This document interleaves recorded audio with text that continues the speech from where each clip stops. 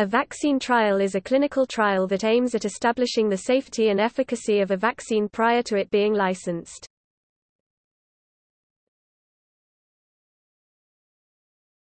Topic: Methodology. A vaccine candidate drug is first identified through preclinical evaluations that could involve high-throughput screening and selecting the proper antigen to invoke an immune response. The preclinical stages are also necessary to determine approximate dose ranges and proper drug formulations i.e., tablet, injection etc.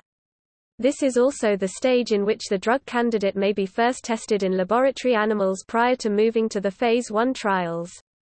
Vaccines such as the oral polio vaccine have been first tested for adverse effects and immunogenicity in monkeys as well as non-human primates.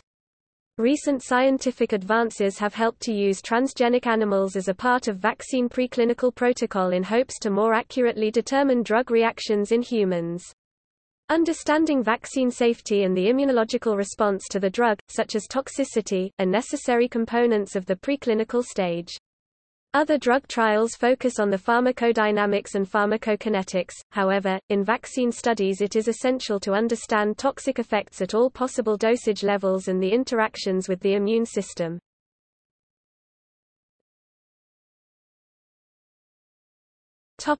Phase 1 trials The following stage in vaccine trials is the Phase 1 study, which consists of introducing the drug into the human population. A vaccine trial might involve forming two groups from the target population. For example, from the set of trial subjects, each subject may be randomly assigned to receive either a new vaccine or a control Treatment – The control treatment may be a placebo, or an adjuvant-containing cocktail, or an established vaccine which might be intended to protect against a different pathogen.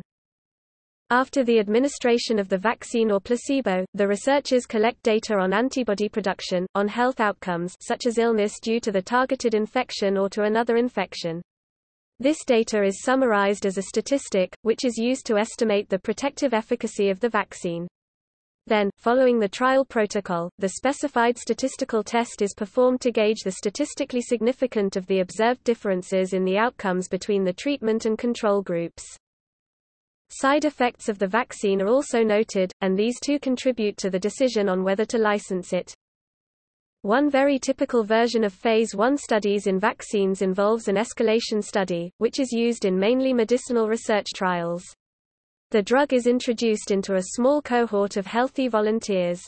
Vaccine escalation studies aim to minimize chances of serious adverse effects SAE by slowly increasing the drug dosage or frequency. The first level of an escalation study usually has two or three groups of around 10 healthy volunteers. Each subgroup receives the same vaccine dose, which is the expected lowest dose necessary to invoke an immune response the main goal in a vaccine, to create immunity. New subgroups can be added to experiment with a different dosing regimen as long as the previous subgroup did not experience SAEs. There are variations in the vaccination order that can be used for different studies.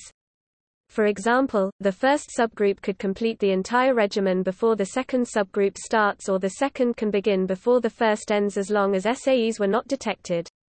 The vaccination schedule will vary depending on the nature of the drug i.e. the need for a booster or several doses over the course of short time period.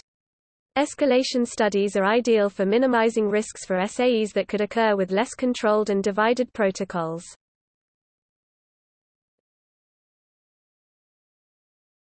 Topic: Phase 2 trials.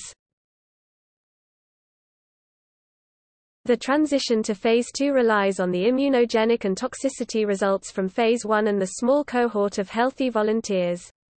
Phase 2 will consist of more healthy volunteers in the vaccine target population tilde hundreds of people to determine reactions in a more diverse set of humans and test different schedules.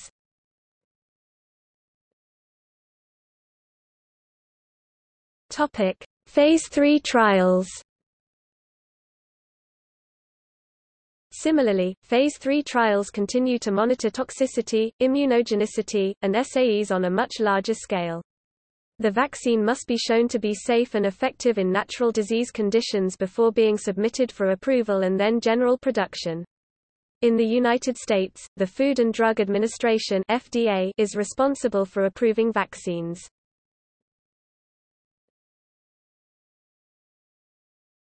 Topic: Phase 4 trials.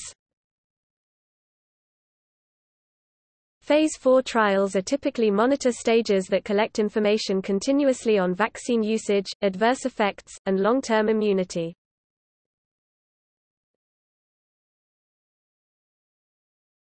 Topic: Methodological issues and problems.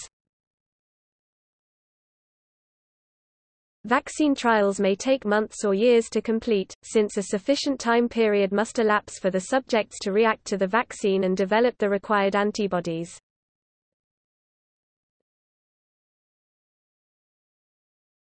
Topic: Vaccine trial regulation errors.